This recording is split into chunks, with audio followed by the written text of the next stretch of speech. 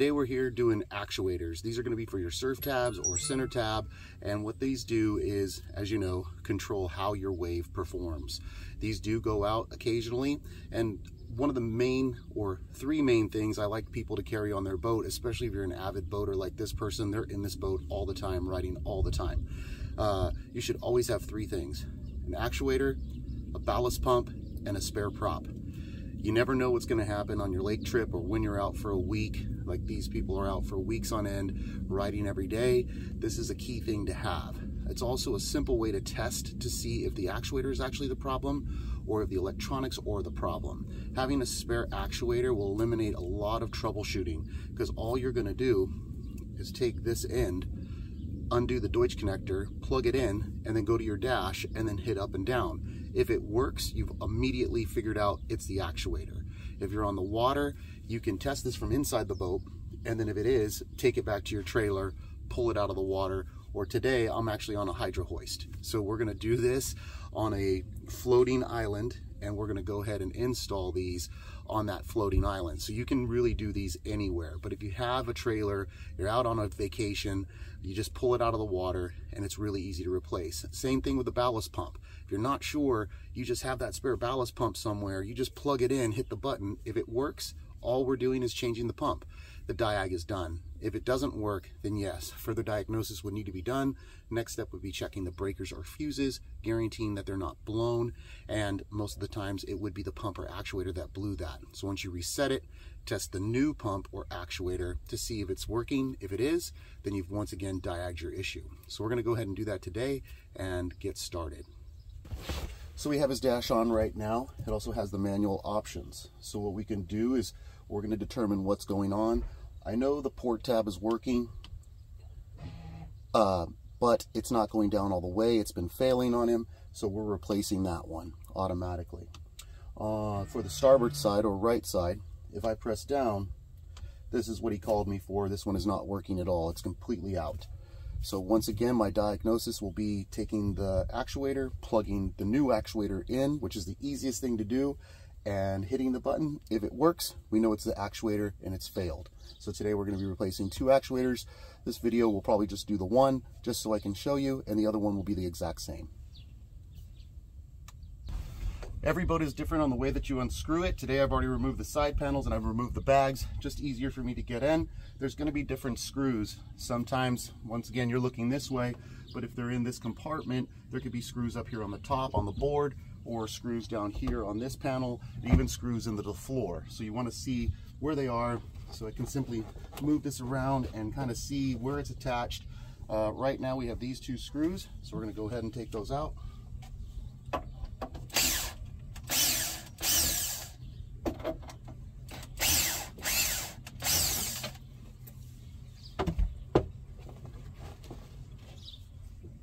And then we do have one up here on the top.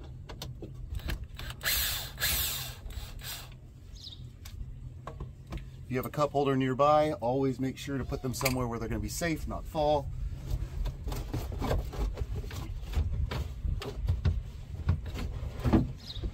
And there we go. So I don't have to take this wall all the way out, but a lot of these boats will come with the quick releases. So like this one, it's just a quick release. Goes up, locks the bag in place, push down, and then it opens this to release it, right? So we can take this wall completely out.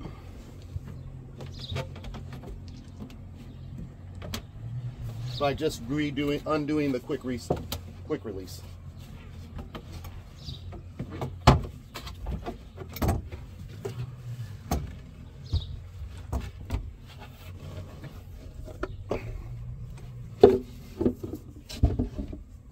Set it right here take it in the boat.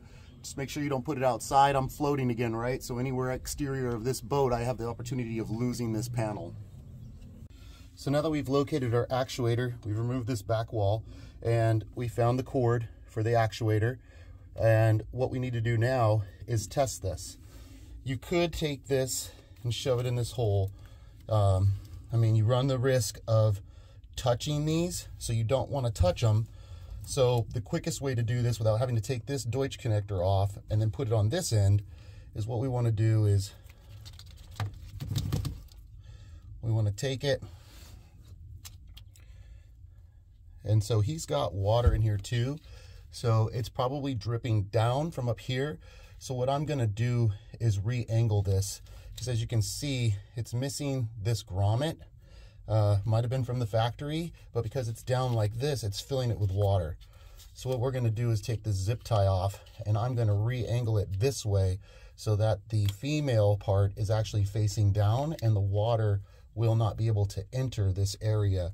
This could be a reason why his tabs are, or his actuators are failing, is because water is physically getting in there and it can't get in here, or it makes a connection when this is powered and can short out the actuator. This is probably what happened. So what I'm gonna do is flick it a few times, get most of the water out. Uh, this actuator, this one's full of water, so I'm gonna have to dry this out a little bit just with a towel and clean it. So on the actuator side, these are the female ends. On the boat side, that's the male end. So all I want to do is slide these over and I want to make sure they don't touch because I'm going to go up to the dash and hit this just to make sure that uh, the actuator works now. So we're going to go ahead, go up to the dash, hit it, and we're just going to guarantee that this tab is now, or this actuator, the new actuator is going in and out correctly.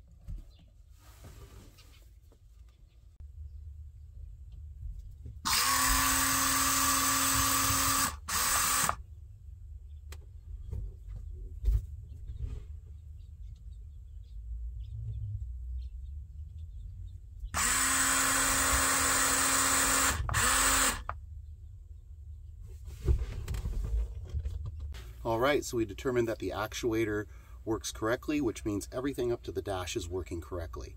Always try to start where your problem is. Don't start where you think it is. You've got to start with what's what that switch or button actually activates or works, right? So that's going to be this actuator. So I'm going to start at the actuator. As you saw, there was water in there, which is going to basically create these to basically make contact and slowly go out. And there are other reasons, as I stated, this just gets used too much and then it fails or water gets into it internally. These are billet aluminum now, not plastic. So these are gonna last a lot longer. So we're gonna go ahead and do that now and change it now that we know it's the actuator. Before we go to the exterior of the boat, we're gonna pull this off. There should be a little seal right here. So like I said, because it's missing, I don't carry these on me, especially mobile and I'm on the water. So what we're gonna do is basically when we re-zip tie this, we're gonna zip tie this facing down so that the water can't enter it. But in order to get this outside of the boat, I can't get it out with this on, so we need to remove this. You're gonna need a small pick. Actually, this might just come right off because uh, it's missing the little seal. And then I can actually see rust in here. I don't know if you guys can, so that's really what's going on here. So uh, you need a little pick like this because way in the back, there's these two little clips and you have to raise them in order to pull the cable out. So what I'll do is I'll put a little pressure on it, push on it with one finger and pull it out. So as you can see, it's not complicated once you know how to do it. A lot of people just don't know how, and then you're like scrambling because you don't want to break it. You think it comes from the back, but it actually comes from the front, and that's it. We're going to take this little seal off. We're going to set it down here inside the boat, and now I can pull this through with no problems when I go to get the actuator off. Once again, I mean, I'm on the water right now, so you can do this anywhere you want at any time. Now what we have to do is remove this uh, actuator. So we're to have to remove, bring the tab down, release it from the actuator to be able to remove it. Mastercraft uses a quick disconnect or a quick release pin. Uh, some manufacturers will use bolts. So depending on what you're on, you may need a ratchet, open end wrench uh, but this one uses a quick uh, disconnect pin. There are two spacers in here on each side. What that does is it keeps this actuator from hitting these corners and damaging the actuator. So I can't drop these, and because I'm on the water, I have to be very careful because they do not float. So we're gonna go ahead and get this tab off, bring it down, and then remove this actuator.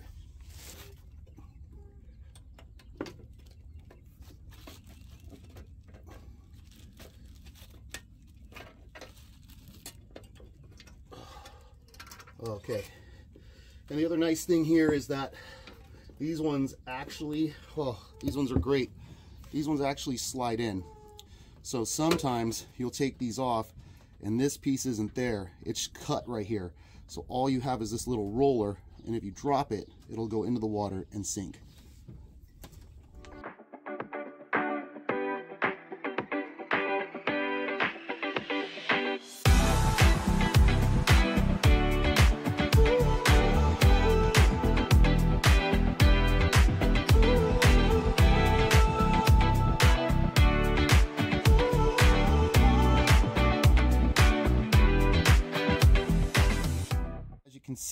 Goes in through the hole, it has a mushroom-like spacer here or rubber grommet and it fits directly into here. So as you push it against the boat it presses out so water can't enter but we're still going to put silicone on it as well as the, the screw holes so that no tiny leaks can enter the boat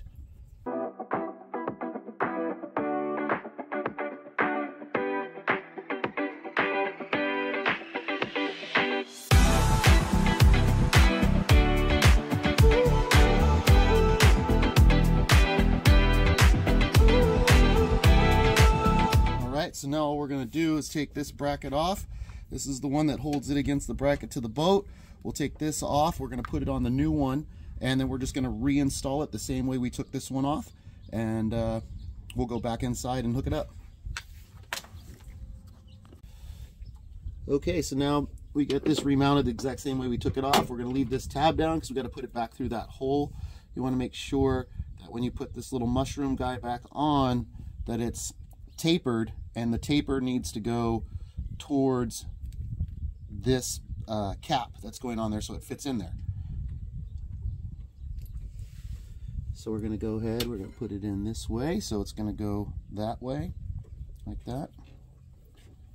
Put this on.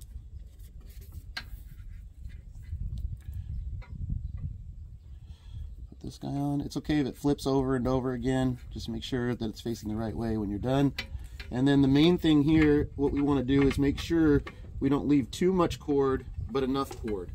Because if you put too much cord out, it can get tangled up. If you don't do enough, when the tub tab goes down, it can it can uh, pull the cord.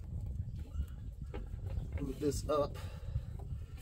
What we're trying to do is just make sure that there's nothing there. Also, when I put it on there, as you can see, it's not on tight. If you put it on there tight, you're actually going to bind it. These are lock nuts with nylon, so they can move freely, but the, you want it to move freely so that it doesn't get bound up. Then you'll take your silicone, move this back, and then just right behind that little mushroom, you're going to put a bead of your silicone I use Life Seal. This is white. You can use clear. Really no need for 5200 once again. And then what we'll do is we'll take it and just push it against the hole and squeeze some in each hole for the screws.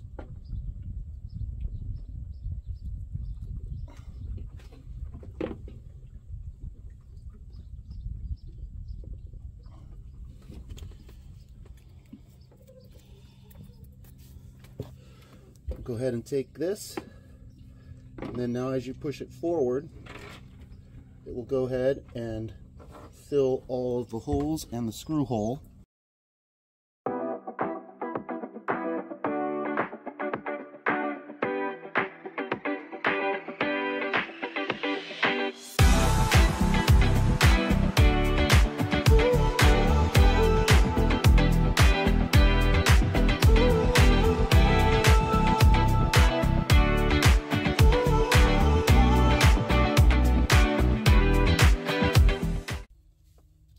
we're going to go ahead and reconnect this inside here. So it's really easy. It's always the same. You've got white to white, black to black, and we just want to make sure that we're connecting them back up the same way. So take your Deutsch connector, see which way it goes in. Whoops, wrong way. And then look at your colors. And then you're going to make sure that you put these in that exact same way. So first step is putting back on the rubber seal.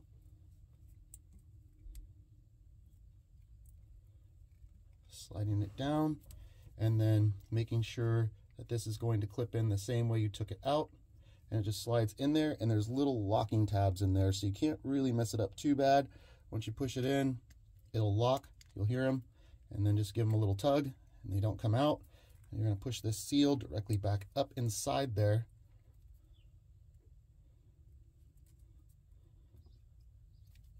So that no water can enter then you're going to put this clip back in. This clip keeps these from falling down. So this clip is very important because as you slide it in, it's going to protect those wires from falling. Now they're right dead center of the holes. You can plug it in. Once again, I'm going to zip tie this up this way so that the female end is down. So that way we can guarantee no water will enter into that plug again. And that's it. So now we're just going to put it all back together and we'll go out and test it on the water.